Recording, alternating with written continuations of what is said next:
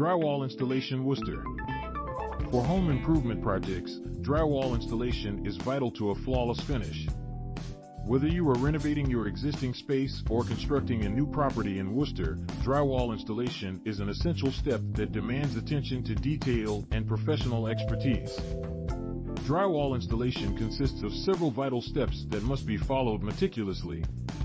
One of the common concerns for homeowners in Worcester is the drywall installation cost.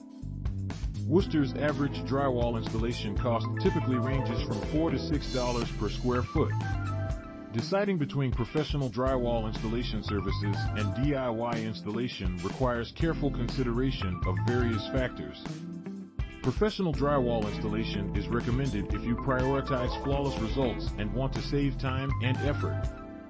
Whether you choose professional drywall installation or decide to take on the task yourself, ensuring a successful project involves careful planning, attention to detail, and understanding of the process.